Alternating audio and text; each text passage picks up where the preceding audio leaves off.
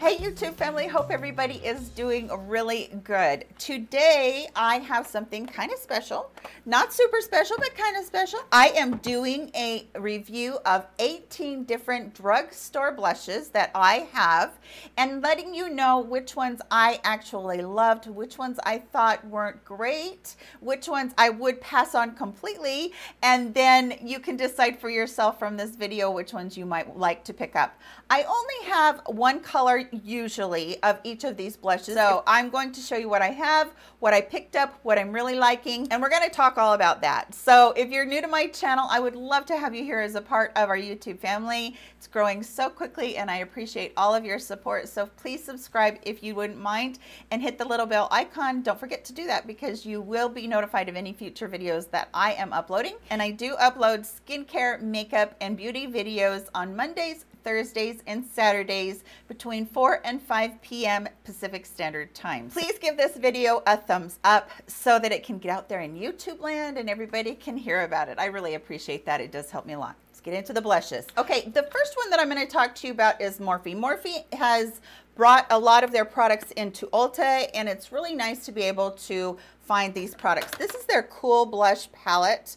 I really like this palette, you guys. It does have a bronzer color right here, and then it has really darker colors. It has some really pale, lighter colors. So you're kind of going across the gamut of whether you're um, deeper skinned or whether you're lighter skinned. You're going to be able to get some use, use out of that. But I use these over here, even though my skin is much lighter, because I use them just a very soft touch and a very light stippling brush. And I just really love this formula. To me, I stick my hand in here. The matte ones are really creamy. They're really beautiful. I do like the shimmers really well. They do perform really well, but I gravitate towards those ones that aren't, that don't have any shimmer in them. They're the matte ones, but I always have gravitated towards a matte formula anyway. This one is their blush trio, and this one is called Pop of Pink. Now the difference in that one is this one does have a mirror, so it's a little bit better if you want to throw that in your purse. This one does have three colors in it. Two of the colors are matte and one of the colors are shimmer. So those are right there for you guys. I really like this one. I like this color that it had over here, this mauve color, and you think that it would be kind of make you look a little bit sick or something because it does look like it has a little bit of gray in it, but it is really a nice cool tone blush palette. Moving on to the blush palette that I just picked up not very long ago from Profusion. This one is really nice too. And again, we get into the darker colors over here, and then we have some lighter colors with some shimmers over here. The only one that I probably wouldn't like gravitate towards is this bright, bright pink. But the formula itself is really nice as well. I, I love the softness of these blushes. They're really um, buttery, easy to blend. You really don't need a lot. It does take just a little bit to go a long ways. And you can use these if you want to, like you can use them almost in like a contouring style fashion. You can do that with any palette that you get where you use just a little bit of the deeper blush down here really lightly and then a lighter blush on top where it would give you a little bit of the contour type blushing that you might really like. So this one might be for you. This one was probably the less, least expensive one of all the ones I bought because it was only $5 for that big palette. So that was good. And if you've been looking for something where you want to try try out a bunch of different colors, that might be for you too. This one from e.l.f., this is their four color palette and this was their lighter version. And I don't mind this one except for the colors are just too stark for me as blushes. I like my blushes to be just a little bit more muted and these definitely aren't muted colors at all. They're actually quite stark. Even the one that looks a little bit tan, it's almost like um, like an orange color really. And so for me, this one was a pass for me even though the value was great, $6 for this one. The value was great and the formula was good as well. It just wasn't for me for my coloring. Um, but you might really like this and you might like it in the in the dark one if you are darker skin tone too. Like I said, the formula was good, but the colors just kind of turned me off. But one from e.l.f. that I do really like is their single one and this is called uh, Twinkle Pink. And even though this looks very unassuming in the pan right there, when you get that one on your cheeks, it just is so pretty and so nice. This one does have a teeny tiny mirror right there which I think is kind of silly, but that's just me. The packaging is plastic. I do like that about it. This one has just a tiny bit of sheen to it. It's not like a bright sheen. It's more like a very satiny sheen. So it's a really pretty blush on the cheeks. I really have enjoyed that one. I think that's my second one that I've ever purchased. I've had that for years. This one is newer to me. This is the Maxi Blush from Rimmel London. And this one is, let's see, third base. I think this is their first color. It's kind of along the lines of a peachy pink. It's quite pretty. It is, again, very buildable. So if you kept building on it, you would get a really pretty color out of it. They do have some very pretty colors in this one. This one was probably their most pink one, but it, this is definitely a cross between peach and pink. I know that's not coming across on the camera very well. It is a matte blush. There is no sheen in this at all. I've really enjoyed this. You stick your finger in here and you have that creamy softness to the powder. So I have really enjoyed that one as well and can recommend that one. Now I'm going to put these two blushes together. This one is from Milani and don't don't think that this is the right size. I got this as a little perk one time when I ordered from their website. This is just a mini of their rose blushes. And then this one is the flower pot in Sweet Pea. And this one's color is Romantic Rose. So this one is Milani and this one is Flower Beauty. So both of these, I would say when I stick my finger in both of these, the texture is very similar. Although I do think that the Milani is a little bit smoother. Their textures are so, so close.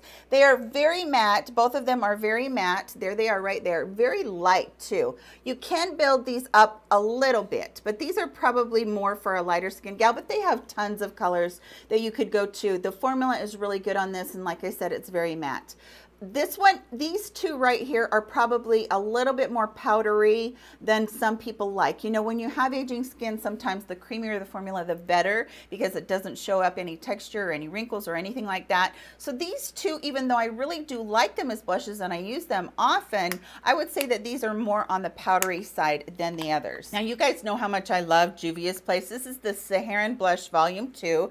There is the artwork on it and then inside the other artwork and then right here is the blushes. This one is a lot less bright and intense than the original one, the first one that they put out.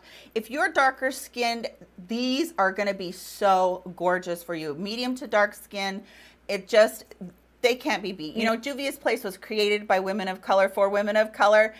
I love this line because of that. They are not afraid to step out and use a bunch of color and just rock it. I think that their blush formula was no joke either. Now, I have swatched the other one in Ulta and I did like it a lot, but the colors were just much too saturated for my fair, fair skin. So this one is a definite yes. If you have been thinking about this and yet you're wondering whether or not you should do it, I love this. This color right here, which is a, a, blush topper, is so gorgeous on it. It's that one right there in the middle. This plum one right here is amazing. This is so gorgeous. And then you also have like the bronzy color in here. So these are so pretty. You have a mixture of mattes and shimmers. I think you get two shimmers in here and you get four mattes. I think that what they did there with these colors is something very special. So I can recommend that one to you. The next one is from Essence. This is their Satin Touch Blush. This one is called Satin Love. And it it does say that it's a satin blush, but for me, it doesn't have any sheen whatsoever. It's just a very soft blush, and it's a very soft wash of color. This one reminds me a lot of the e.l.f. one that I love so much. They're both really comparable and really very much the same. If you're looking for a very inexpensive blush, but one that's very pretty, I would recommend that one. This one is from JCat Beauty. This is Love Struck, and this one's color, I'm to have to put my glasses on for this. This one's color is, this one is Sweet Pea pink. And this one, I, I love the design of this one, and I don't know if it's going to catch it because I've been using it so much, but it's a cat on top of there. So you got the cat that is a little bit of a shimmer more than the rest of the blush, but when I swirl these together, this is definitely a blush topper, I would say, because it has a ton of sheen to it. It really does have a lot of sheen to it, but it is a pretty blush. I think that I would like this maybe in another color where the two colors were a little bit more stark in the way they looked from each other. But yeah, that one is very much a shimmery blush if you're looking for something like that. And then the next one is also a very shimmery, shimmery blush. This one is from BH Cosmetics. This is their Floral Blush, and this one is in the color Fiji Fun. This is really a fun blush because it has has the two different colors right there. But again, this is a very high shine blush. It does, when I first run my finger across I'm like, oh, this is to have like chunks of sparkle in it. It does have a tiny, tiny bit of, of reflex in it, but nothing when I got it on my cheeks that I was like, oh, that's too much.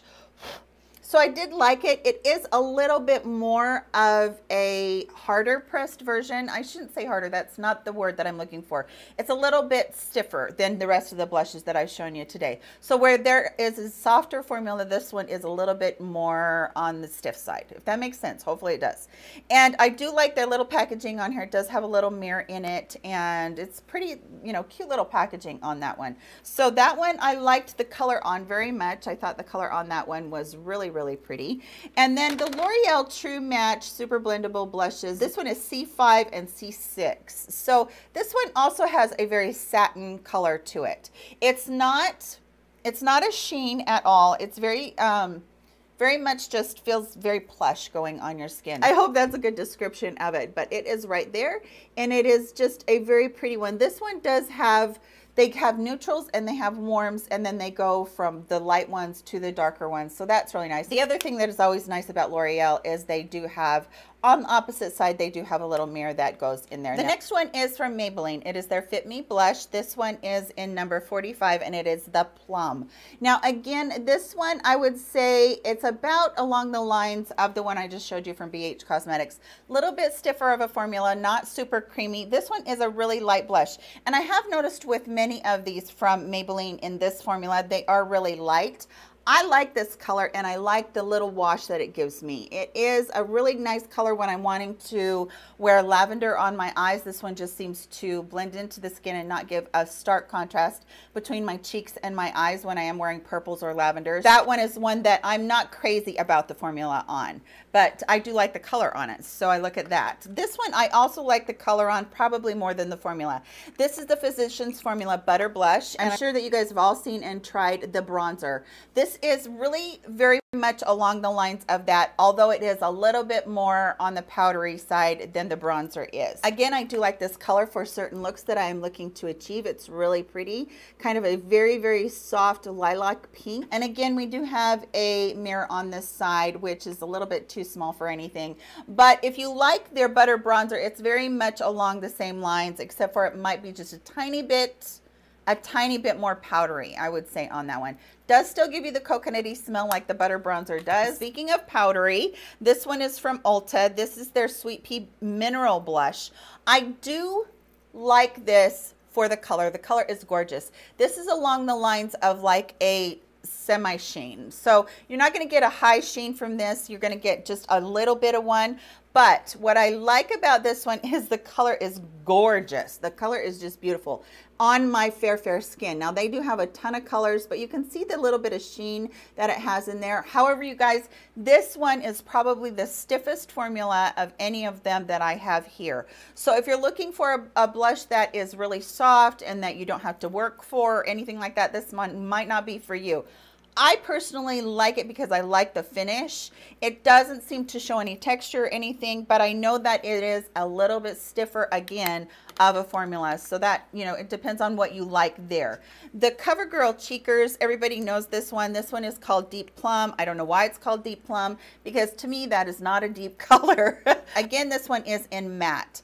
This was probably my least favorite formula of all of them that I tried. It's okay, but even as I'm, I'm swatching it right here, there's hardly any pigment coming out of there. I feel like I'm having to dig in the pan to really get anything up, and it's quite patchy when I'm even, you know, putting it across my hand there.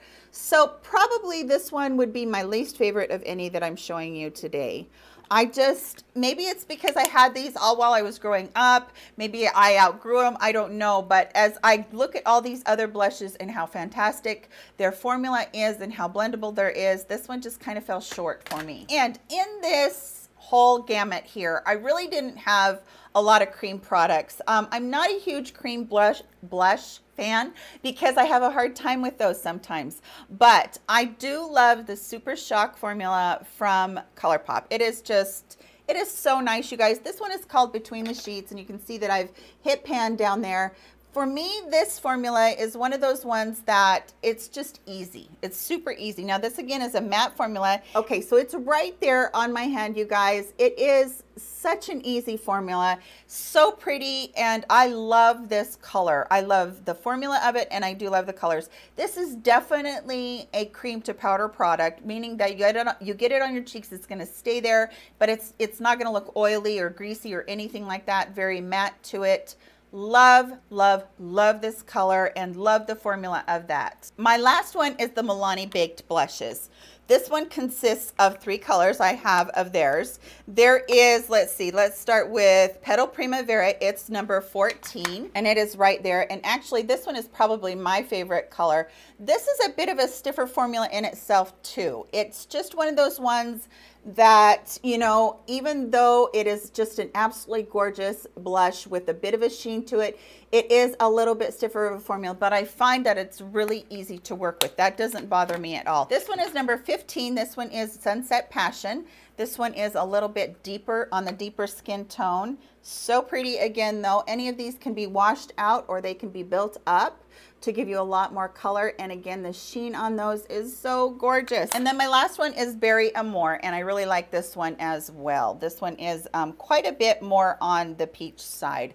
I do like all of these very much, but I think that Petal Primavera is my favorite one, and it's probably just because it's a bit lighter than these others. I do like this formula. Again, same thing. You get the little tiny mirror underneath and it did have a brush in there, but I've long since lost that. I used to have Dolce Pink in this and I used to have Luminoso. This formula is probably one of my very favorite formulas for blushes, but if you're wanting something that doesn't, that is just matte, don't reach for that one because you'll be disappointed because it is pretty high sheen, a very pretty wash of color. Now what I'm wearing on my cheeks today is the Profusion blush palette. I just think it, that it is so pretty and it just really has those gorgeous colors that come together on just about any look you're looking for. So if I was to break this down and I was to say what was my very, very favorite, I would have a hard time. okay, what was my very favorite one? I really like the Profusion one. I love my Juvia's Place one, but I really was impressed at this for the price. And then my second one would be the ColourPop Super Shock one because I just love the way that this one goes on.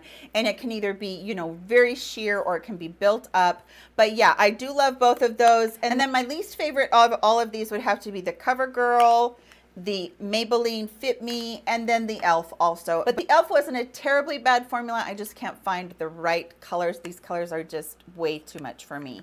So yeah, that was really the only reason on that. So yeah, those are my three bottom, and then you saw my two top picks too. Oh, before I go, I do want to tell you that I did try a Wet n Wild blush way too much shimmer. It was the ombre ones. And then I did try another one from them. Again, way too much glitter in that one. And an LA Girl formula too. But it, there was tons of glitter in that one. So I did try those other ones. I just want to let you know FYI, FYI on that one. That's it for today's video. I hope that you guys do enjoy these kinds of videos that I've been bringing you. This one is all about blush at the drugstore. I hope that you did enjoy it. Please give it a thumbs up. Hope everybody is having a fantastic day wherever it hits you, whether it's the week or the weekend. And I hope you're all in really good health. I love you all so very much. Thank you for watching, giving me a part of your day. And I'll see you all in my very next video. Love you. Bye.